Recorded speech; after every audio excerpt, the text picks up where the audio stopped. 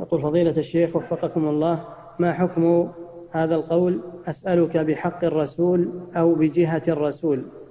جاه الرسول. لا يجوز هذا. هذا لا يجوز. نعم.